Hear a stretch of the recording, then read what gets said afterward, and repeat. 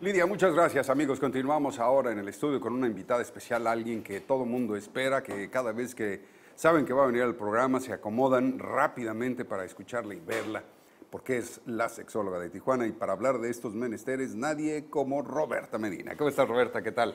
Mucho Bienvenida. Gusto. Bueno, qué bueno. Ya hace mucho que no nos tocaba juntos y no nos tocaba en este set que tantas veces nos acompañó y me da mucho gusto volver a platicar contigo, Javier. El gusto es totalmente mío. Gracias Roberta. Hoy vamos a platicar de toxicidad.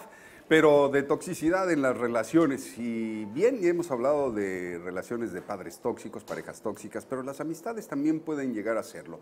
Y lo que yo quisiera saber, una vez que logremos definir qué es una relación tóxica, ¿Cómo es que nos enganchamos en ese tipo de relaciones? Porque algo hacemos nosotros.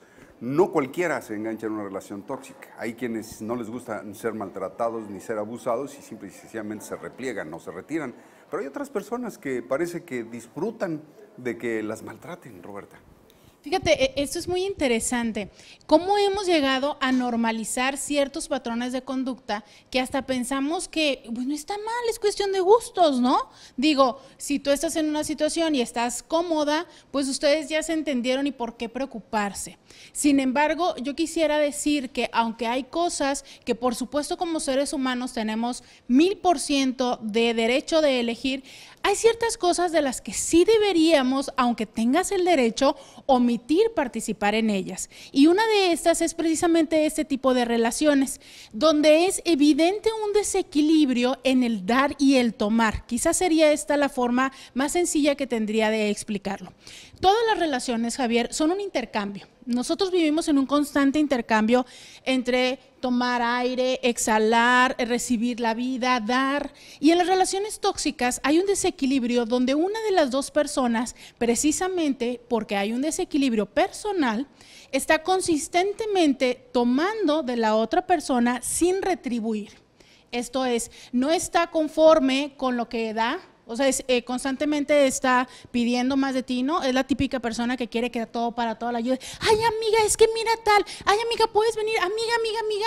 Y ahí estás tú porque pues supuestamente tienes una relación de amistad, la cual por supuesto hay que cumplir, hay que nutrir, hay que ser recíprocos, pero en el momento en el que tú la necesitas, no contesta el teléfono, no la encuentras, está súper ocupada y entonces cuando tú la necesitas no puede estar para ti, pero consistentemente está pidiendo que tú estés para ella. Esa era la base, perdón, original de mi pregunta, Roberta, porque me extraña. Creo yo, asumo que así podría pensar el resto de la gente, de que buscas de manera intuitiva un equilibrio, ¿no? Oye, yo estoy dando y esperas la reciprocidad de también recibir cuando sientes que hay un desequilibrio y sientes que hay un encajoso y un abusivo a tu lado, simple y sencillamente empiezas a decir, no, no puedo, yo también estoy ocupado, fíjate que no puedo, porque tratas de mantener el equilibrio en la balanza.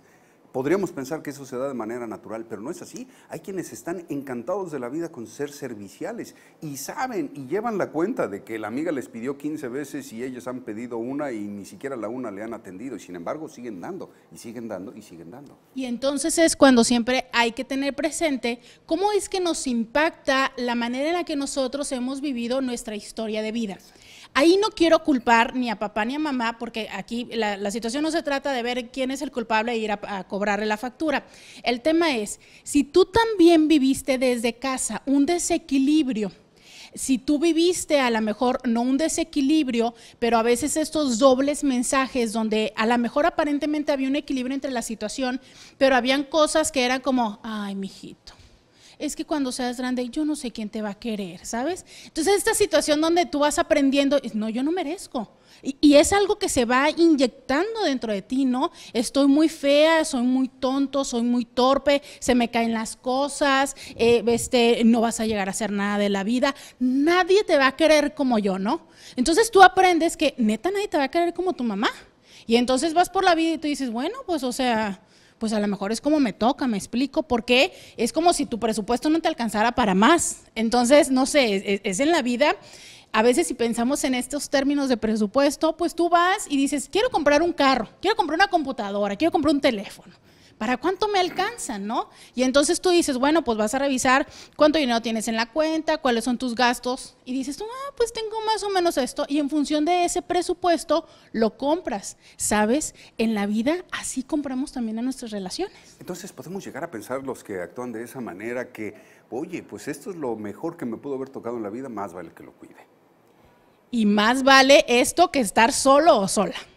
Y si aparte ya tengo hijos, es como, ¡Ah! o sea, espérame, si ni siquiera sé, o sea, o más bien yo tengo el entendido de que no voy a encontrar otra pareja, o sea, ¿cómo voy a encontrar ahora padre para mis hijos? Entonces, pues aquí están, ¿no? No, no, y aparte, ustedes siempre saben que yo amo los dichos y refranes, ¿no? Más vale malo conocido que bueno por conocer. Y entonces aprendemos el miedo y, el, y la situación de quédate ahí, ¿no? O sea, es donde estás, es lo mejor que puedes estar. Total, aprenden, ¿no? Y entonces hay una serie de situaciones que nos enseñan a cómo vivir mejor y cómo acomodarnos en esta situación sin comprender que finalmente haya algo interno que nos está eh, desequilibrado o más bien de, que no está bien calibrado y que nos está diciendo, ¿sabes qué? No mereces tanto como realmente mereces en la vida. ¿Qué sucede? Roberta, con los casos en donde hay personas que ellas aseguran y están convencidas de que dan tanto o más que la otra persona, cuando en realidad toman más que la otra persona. Si me explico, esas personas yo siempre te ayudo, yo siempre estoy, cuando sabemos que es mentira y es muy evidente. Una de dos, o se están haciendo tontos, están fingiendo demencia, o realmente conciben la realidad de forma distinta? ¿Qué pasa con ellos? Sí, no, eh, hay una de dos, ¿no? Es, hay personas que han aprendido este, que es tan maravilloso los juegos que jugamos los adultos. Incluso hay un libro que más o menos así va el tema, ¿no?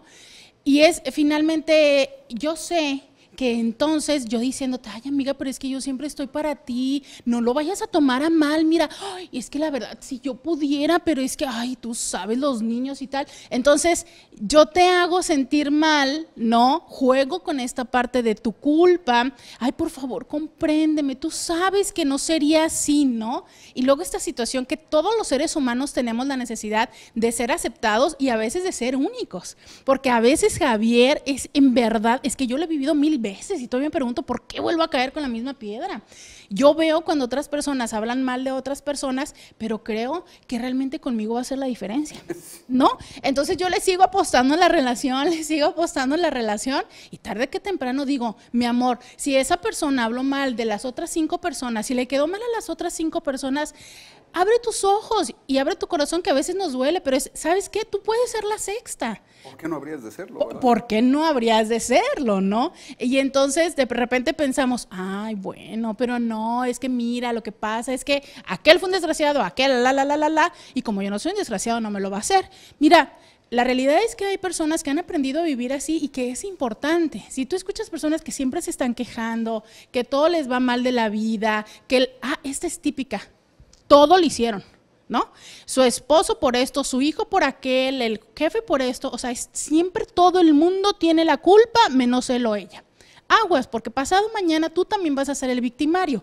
Y es forma en la que tú tienes que ir entendiendo el desequilibrio de la relación donde estás. Roberta, qué gusto. La verdad es que siempre es un placer.